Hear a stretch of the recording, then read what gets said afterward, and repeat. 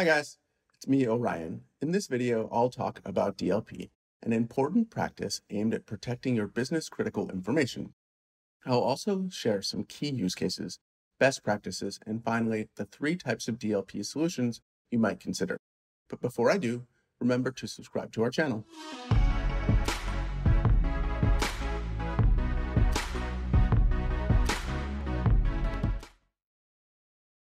As I mentioned just now, Data loss prevention, or DLP, is an approach to business information protection.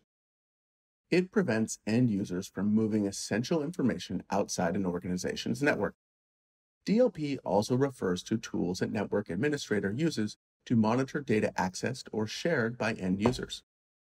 Common DLP solutions let you monitor data and system access, filter data streams to restrict suspicious or unidentified activity, log and report incident response and auditing, analyze vulnerabilities and suspicious behavior, as well as provide forensic context to security teams. Let's look at some use cases. DLP lets you identify deviations from security policies, thereby making it easier to correct misconfigurations, compare current configurations to compliance standards, and provide proof of measures taken. Increase visibility across systems, helping you ensure your data is secure no matter where it's stored. An organization's staff is privy to information they can share. This can lead to accidental or intentional data loss. The distributed nature of today's computing system magnifies this problem. Staff working from home access stored data through VPNs and cloud services. Laptops and mobile phones contain sensitive information, and all of these endpoints are often vulnerable. It's becoming increasingly difficult to ensure that data is secure, highlighting the importance for a DLP strategy. Let's look at three reasons you would implement a DLP policy if you don't already have one in place. The first is for compliance purposes.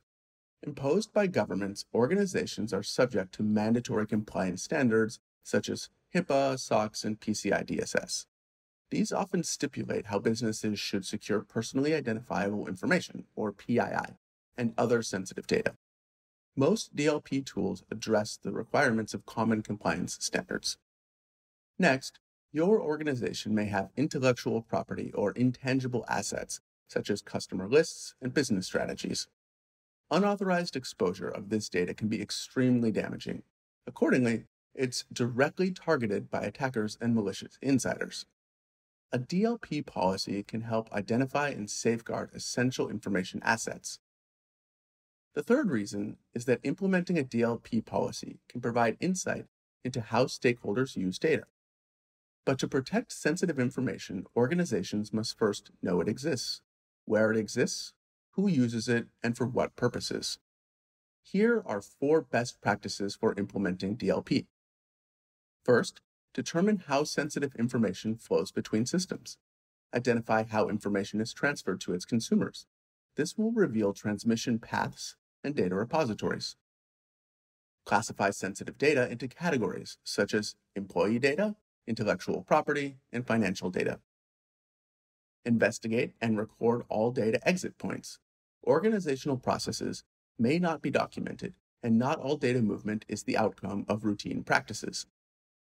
Next, engage IT and business staff during early stages of policy development. You should identify data categories that have been singled out needed steps to combat malpractice, future DLP strategy growth, requisite steps to take if there is an abnormal occurrence. Before putting your DLP strategy into practice, establish incident management processes and ensure that they're practical for each data category. Now you're ready to ship your DLP implementation by monitoring organizational data. Know that blocking sensitive information too soon or blocking too much may be detrimental to central business activities. Don't try to solve all data protection issues at once. Fine tune and anticipate the effect DLP may have on organizational culture and operations. Start with the low hanging fruit, establish rules, and continually improve them. Involve all relevant stakeholders and ensure they provide feedback on new data types, formats, or transmission paths that either aren't listed in the current DLP strategy or aren't currently protected. DLP tools do have a few limitations. They can only examine encrypted information that they can initially decrypt. If users encrypt data with keys that aren't available to DLP system operators, the information is essentially invisible. DLP tools are generally not useful when working with rich media, such as images and video. This is because they can't parse and classify such content. The solutions are unable to track all types of today's mobile communication.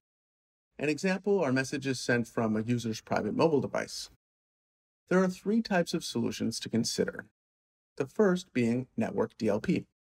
It protects your organization's network processes, such as web applications, email, and FTP folders. It monitors and provides visibility of all data as it transits across your network.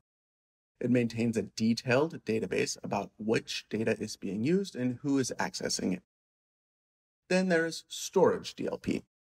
This type provides information about files stored and shared by network users. It enables the viewing of sensitive files shared and stored on the network. And it provides visibility into data stored both on premises and in the cloud. The third type is endpoint DLP. It monitors workstations, servers, and mobile devices such as laptops, mobile phones, external hard drives, and USB drives. Installed as an agent, it prevents data leakage from endpoints, and it provides visibility into data stored on endpoints that are located both within and external to your organization. And that's it, a quick start guide to DLP. Feel free to ask any questions you may have in the comments, and I'll answer them for you. And if you liked what you saw, please like this video and subscribe to our channel.